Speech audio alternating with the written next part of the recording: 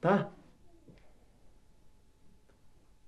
심다 장제 광고 치고 그래. 타마 탑들 쉐는 마 겸는 시그르 봐. 초가 좋네. 아제 두고 돈에 마 자고 그래. 들해서네 장라 땡겨요. 장라 돈이 고데 인지 미지요. 此时的英国 早已没有了日不落帝国的气派。经过二战，英国元气大伤。战后的各个殖民地纷纷要求独立，英国政府要插手西藏事务，显然还要通过刚刚获得独立的印度共和国。疲惫的英国已无力干涉这么遥远的地方政治事务了，但在口头上仍然表示支持西藏的独立。政策的主要原则仍是依据1914年的中国政府从未承认过的《西姆拉条约》。英国外交部在1950年致其驻印度高级专员的一封电报，清晰地陈述了这种态度和立场。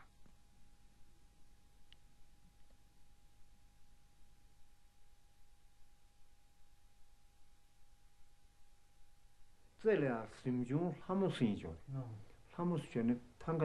家的，他们是觉得他个用啊。 그 쉬우지 있어 와. 그게 가르쳐 고서는 버리시다 요. 사무대 틀이. 사무대 버리나 가르쳐 버렸으나 마점나. 자원 친구도 다 탑이야. 서로 막까지다.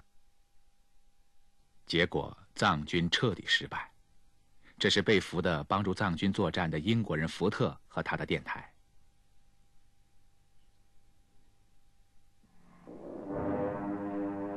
一九五零年十月底的拉萨已是混乱一片了。昌都站以藏军的实力，给上层人物们带来了极大的震动。于是，很多官员主张结束打仗的摄政。由于丹增嘉措尚未到亲政的年龄，于是，提前亲政的事必须请护法降神给予审断。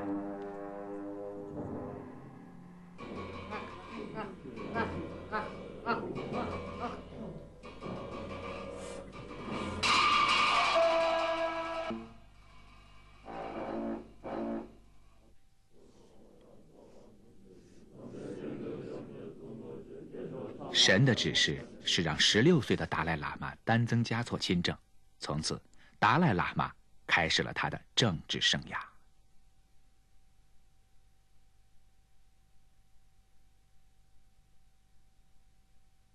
嗯，这不学了着，学了才才来着。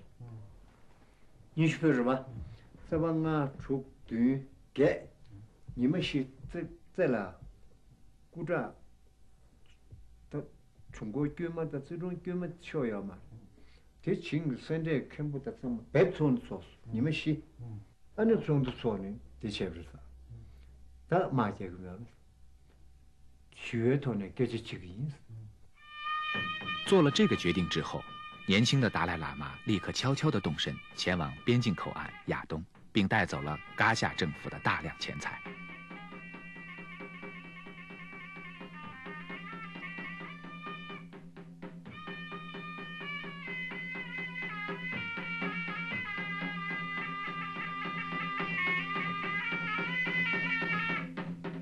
此时，达赖喇嘛摇摆不定，他最关心的是他自己的生命、地位和权利。亚东是喜马拉雅山谷中的一个小镇，翻过一个山口就到了国外，进出很方便。在政治上举棋不定的达赖喇嘛愿意处于这样的位置。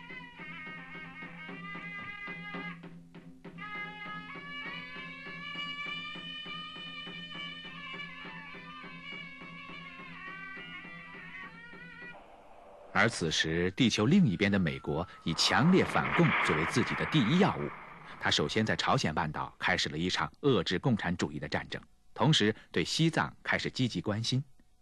虽然杜鲁门政府官员们知道不能马上改变中国对西藏的主权地位，但他们还是敦促美国政府为西藏将来摆脱中国中央人民政府立即行动打好基础。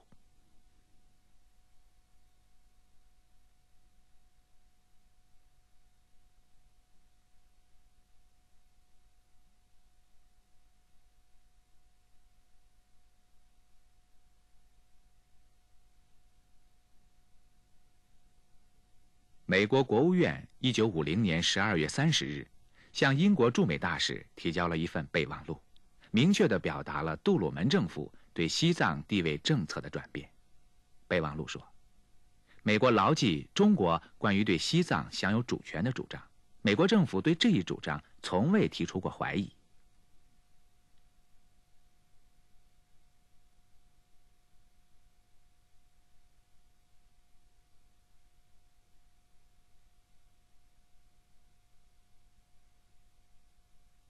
但是又说，进而还认为，如果得到适当发展，还可以考虑承认西藏是一个独立的国家。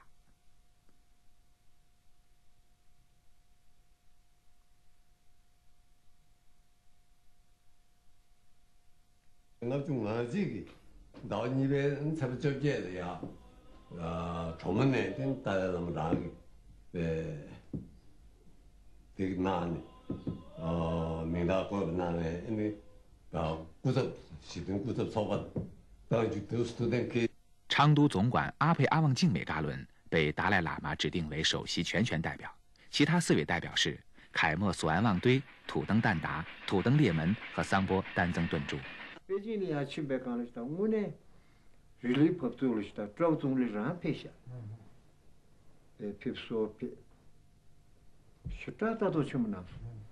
那你北京来来来去了，工作工作就多是顺不得，北京判定人不许多，那你决定决定决定是打把子，你的你的干么那个？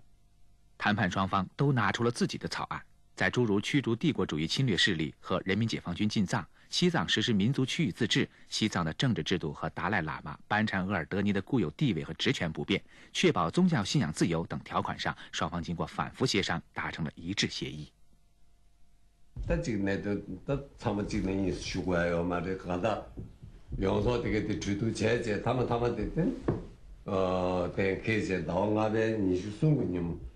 주도 표시에 증도 준다 거기 주도 표시도 센 내가 거였제 이렇게 아 이야 다들 리투 좀 좋은 제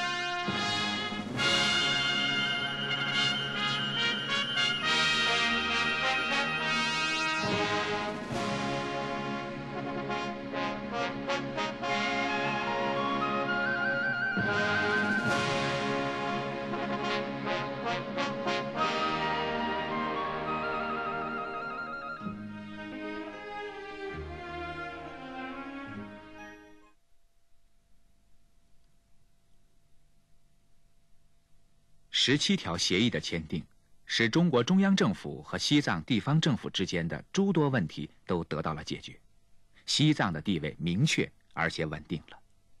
这是急于在中华人民共和国制造麻烦的杜鲁门政府十分担忧。一九五一年三月底至八月，美国驻印度大使韩德逊给达赖喇嘛至少捎去了三封信和更多的口信。劝说达赖喇嘛否认十七条协议，并流亡国外组织抵抗运动。美国政府愿意为此提供经济。